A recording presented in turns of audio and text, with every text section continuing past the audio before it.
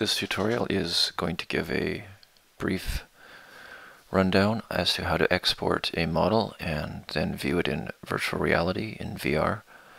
So let's get to it.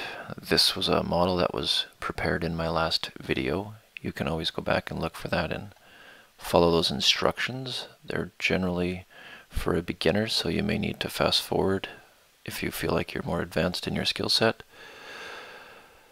Here we're going to look to export. So this is ready to go with textures, colors, and a decent shape. I want to choose the folder, file operations, you can see it says. And in here we want to go export. Now if you have a SketchUp for Schools account, in the export menu you're going to see these have a cloud next to them. If you don't have a Schools account, you're going to see a lock next to these. You can't use these functions. These are the ones that export to various other 3D programs as well as bring along the textures, the colors and whatnot. If you don't have, just use XSTL and download that and be ready with that file. Uh, we'll use that soon.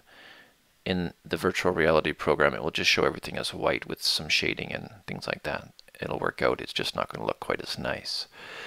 In the export menu, then I'm going to choose KMZ. I've tried all these other ones and they all seem to have some troubles getting the settings right is kind of tricky, but I've found that KMZ works every time, at least the last while it has, so when this video is viewed in the future it may not work, uh, but for now it's working. So I'm going to choose KMZ. When I click on that, it sends it to the cloud for processing. So go. I'm not going to choose any of these options. I don't need those, and I can just choose to export. And it's going to send the model out, starting conversion. And now it's been started, but it's not ready for me to download yet. It will show up at the top here, or I can choose in this menu, Imports and Exports, and you can see that I've exported quite a few things doing some testing today. This one currently is in progress, and I'll be able to download it soon. So I'm going to head back. When you're ready to go, you'll see this green thing show up, and you can hit download. It's going to choose to download that file. Make sure you put it in some space that you can find it easily. I'm just going to download it into here. I know where I've saved the file, so now I can find it when I need to. And that's all we need to do with SketchUp. Now it's time to head over to Sketchfab. So I'm going to go to that window. And here we go. Now I've typed in sketchfab.com. You can see up in the top here, sketchfab.com. And you're going to end up at this site here looking for, well, they want you to see, do you have a, do you want to look for a model or what are you trying to do? Top right hand corner, you can sign up if you don't have an account. You can use your Google account. So you can log in and here you can choose to then log in. So I'm going to choose to log in with Google and I can get rid of this. Oh yeah, it worked for me. No, it didn't work. So I'm going to log in.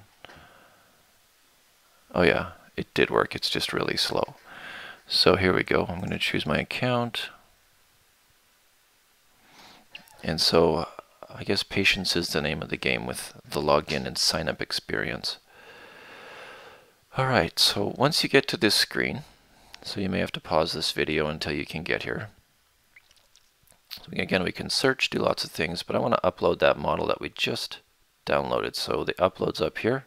Click on that drag and drop, or browse your computer. I'm not sure which way you have it set up on your machine. I'm going to browse really quickly because I know where this is. It's in my downloads folder, I believe. And uh, I'm just going to choose to sort it by date. Grab that simple maze, and then I'm going to continue. At this screen, it's uploading and processing. Now, this takes a while. Depending on the complexity of your model, it can be quick and it could be take a very long time if you have a very detailed model. So it's really up to you. In the title, Simple Maze, I try to make it searchable. So I'll put Simple Maze, and I might call it uh, for VR. I need to know what it is.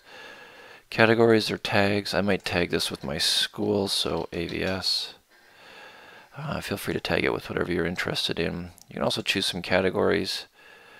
Uh, I'm not going to worry about this too much because it's not something that I think is that important.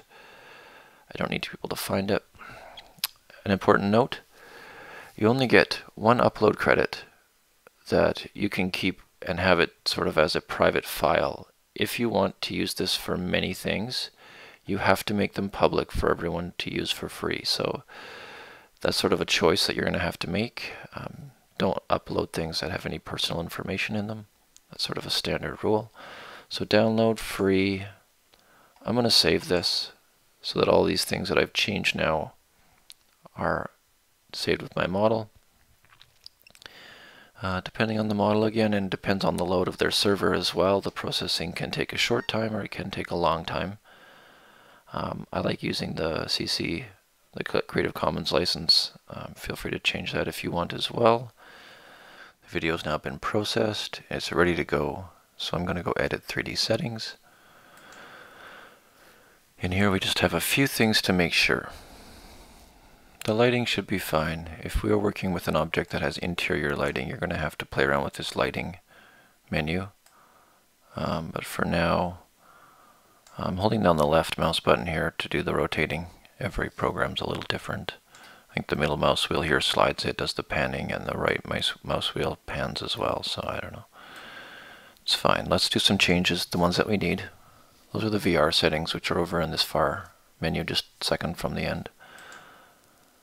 Uh, you can see my fellow's a little large, and so um, I did have my units in meters. So I can set use one unit equals one meter, and that's wrong. I think I left it in imperial, so I'll have to make this a 30 then.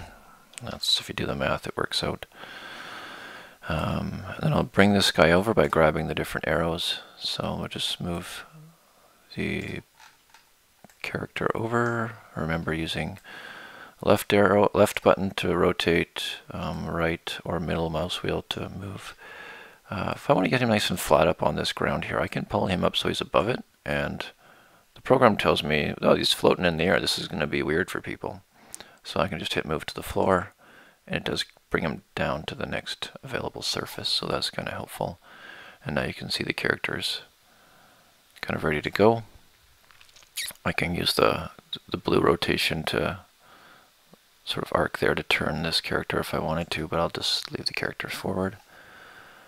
And that's really all I need to do to get this ready. So I can hit Save Settings in the top right. Can hit Publish. Once it's been published, um, I'm going to say, go, got it, go see my model. But I actually want to do Edit Properties. Uh, in here, once it's published, then you can say download for free. In my previous instructions, I said set it then and save it, but it doesn't save until you actually have published it and then save it. And now I don't have to have that count against my maximum credit of down of, of um, models that I can have. So free and then save, and then I can go uh, and view this. So I can head back up in the top left here. So it's just getting a few things ready and now it's it's ready to be viewed in VR. Now on my computer I can zoom in and out and kind of view it if I wanted to get all the way down to here and I can kind of zoom in here. It's really hard in a browser to do any of this.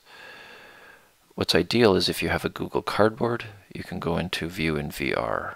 Or if you have uh, any of those VR viewers, if you have an Oculus Go or a Rift, if you have um, HTC Vive, any of those devices will allow you to go and view these in VR. So um, when I click on that, you will see it show up and then you can move around by tapping on the screen. It's different for each one, but um, yeah, from here I really can't show you a whole lot because the model is ready.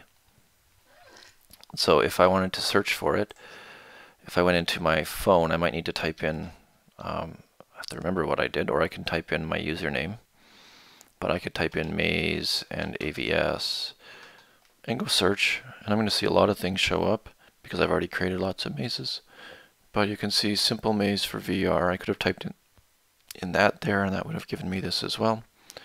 Then I can choose that item when I'm in my headset and go view it in in VR. So um, maybe I'll try to post a video of that.